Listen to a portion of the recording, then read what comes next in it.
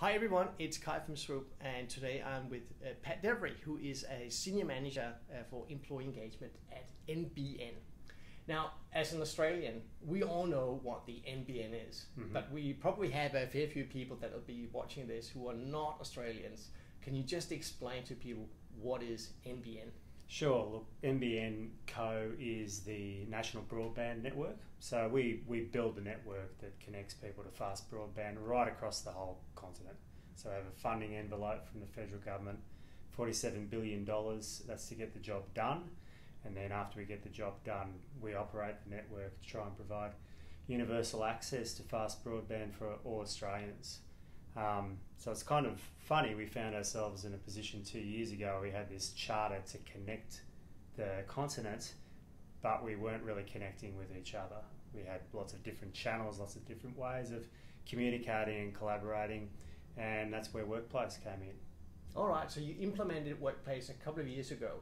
Um, and that's kind of interesting because I meet a lot of companies that are thinking about implementing Workplace or have just implemented Workplace. But I look at particular NBN Co. And so you've been on it for two years.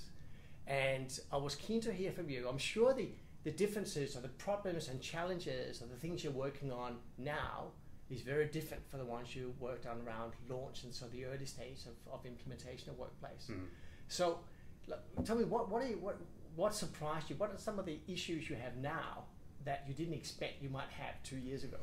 Well, the biggest surprise is that if, if you gave me the metrics that we have on the platform now, two years ago, and said you'll you'll achieve these, you'll have this kind of claim rate, this kind of monthly active user base, this kind of monthly uh, weekly active user base, I would have been kicking goals, doing cartwheels, jumping over rainbows, what have you. Really excited and thinking that it was such a success and my job is done. Um, what I didn't know then, what I know now, is that that level of activity drives a lot of noise through the platform, um, which people find, depending on you know what their information needs are, frivolous, um, irrelevant, and as a result, they start to switch off the platform itself.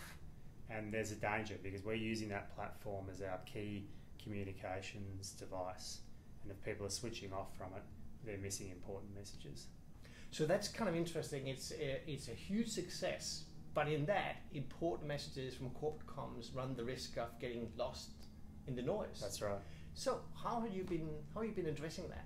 Well, there's um, there's a few different ways, and we don't we don't have the answer or a set of answers that absolutely work, but we're, we're trying a few different things. Um, one of them is to, and this goes into uh, this goes into a series of sort of tactical approaches uh, that we're that we're developing and running out at, at this at this current moment in time to try and drill down on this issue of noise, so that people can firstly have confidence in the platform that they're able to find that relevant information because that's that's the key. If they're not confident, then no matter what you do tactically to address the issue, um, you're going to have a problem because then you're going to have people slipping away. So, firstly, that, that really involves defining what the platform is being used for because workplace can be a lot of different things. Um, it comes out of the box and you think people know how to use it and it's intuitive and you just sort of set it up and it runs itself, but it doesn't really work that way. Um, it can be a broadcast communications tool. It can be a video library like an internal YouTube, if you like. Um, it can also be a team collaboration tool, cross functional collaboration tool, um, and it can then start to integrate with your other systems and business processes. And it can be a jack of all trades, but at the same time run the risk of being a master of none. So defining what workplace is going to be in your organisation is probably the first step. So that's kind of interesting because I, I do think it is from a functionality perspective, like all the buttons are a bit like you know it's very much like Facebook. So you feel at home the moment you get in there. So from a functionality perspective, it's pretty easy to get your head around. But I guess what you're saying is from a from a, a business use perspective, given that there are so many different ways in which it can be used, that's what requires more thought and sort of strategic thinking. That's exactly right, and it, it depends on how people within the, the broad enterprise use it, how the corporate communicator team uses it. But then within those communities, how people in teams or uh, cross-functional um, project areas use use or don't use the tool. So, for instance, um, in my small employee comms team, we use it to collaborate and message each other, and we we get work done faster Mm. by using the platform. and that's a specialised case, which which happens a little bit across NBN, but it doesn't happen broadly. The, the most uh, common use case is just to receive broadcast information. Um, but in amongst that, you have upwards of you know six and a half thousand people potentially pinging messages around on the platform, and that's not going to be relevant for everybody. So then it, it comes to on the back of the, the defining what the actual platform is, is is educating people on how to actually filter that information themselves. Yeah. So how to use the navigation, how to use the groups to, to filter out that information, what individuals to follow, what groups you should be a part of. Um, and once again, when we launched, that was all seemed to be quite intuitive, but people didn't really find it that intuitive in terms of separating the information that runs through their news feed um, from being able to just dip into specific groups Yeah. and find information quickly that way. Yeah, because when you, I guess when you start, uh, you might have some groups that reflects the business unit structures and so forth. But over time, you would have, I'd assume, hundreds of Mm. different groups. Mm. So, what's your what's your advice? Is there is there any advice around whether you should be reading the news feed, or do you point people to particular groups they should follow, or what what's your guidance sort of been to to your colleagues? Yeah, increasingly we we have guided them to um, go into certain groups and, and look at the information in certain groups and to pay less attention to the to the news feed. So the, the news feed becomes more of a uh, serendipitous discovery of Mm. information kind of platform. So you can find different stuff. You can scroll through and say, "Oh, I didn't know that. I didn't know that person had moved there, or whatever it might be." But if you want to know what's going on in the organisation, you click on the uh, Connected at NBN group, which is our um, corporate comms channel. If you want to know what's going in in your BU, you click on your BU group, which is a business unit or our function. In your team, in, in your team group, and so forth. So we have these these kind of three or four different layers that we um, give people guidance on in terms of that those should be the, the layers of information that you're connected to. Here's how to get into them. These are the groups you should be joined into. And it's a really basic information architecture for the Mm. system. Very recently, uh, Workplace made an announcement about changing the newsfeed Mm. algorithm. Um, and I know it's very new, and, and I haven't even myself really seen practically how that plays out on our Yeah. workplace network. But have you seen like the impacts of, of that change newsfeed? Yeah, that, that's actually really interesting because what, one of the other tactics that we were just about to to walk, walk down the, the path on was to close groups, um, not shut them down and, and delete them and move them away, but to change the privacy setting from open to closed, um, which would we think have the um, impact of really limiting the amount of information that pushes through any given individual's newsfeed and make the information more relevant. Now, just as we were doing that, you know, unbeknownst to us, Workplace were working on the algorithm um, to tighten up the information that people get through their through their news feeds. And I, I must admit, personally and anecdotally, from the feedback that I've had at NBN, that has started to work and has started to filter through the organisation. Certainly, the my news feed and the amount of um, extraneous kind of posts that come through there has really shrunk. Mm-hmm.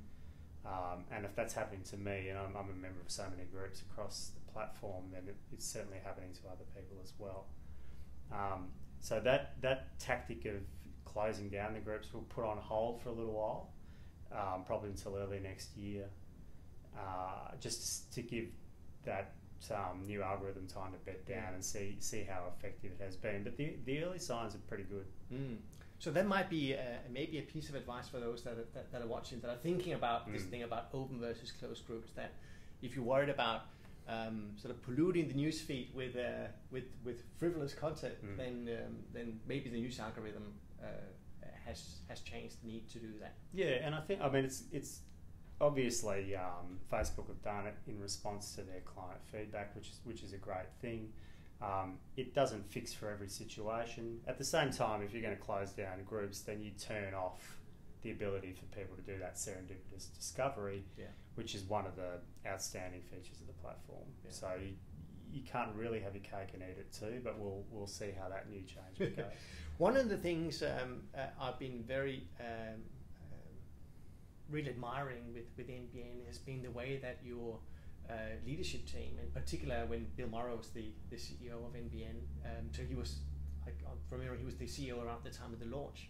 yes, Um, he was. Yeah. So I know there's been a change of guards and so forth. Uh, what can, can you sort of comment on uh, on how like, your tactics you do so over time to sustain senior leaders' interest in, in employee engagement and, and how you can use workplace as a tool to do that? Mm. Well, I mean, you guys have had a lot to do with this for us, really, Swoop, because we push we push the analytics and we ju- we grab it out of Swoop super quick, you know, at an enterprise level, and then at that that's that CEO update group level, um, and it's, I guess, you know, I'm assuming immediately it's gratifying for them because they can see how many people are looking, how many people are engaged, responding, um, and they can see that this sort of spider webbing effect of how that communication has uh, infiltrated the organisation, which previously you couldn't see that. Um, so that that must be gratifying to see the you know the head of the company and that filter down through, and we're doing that now with Stephen, our, our new CEO as well.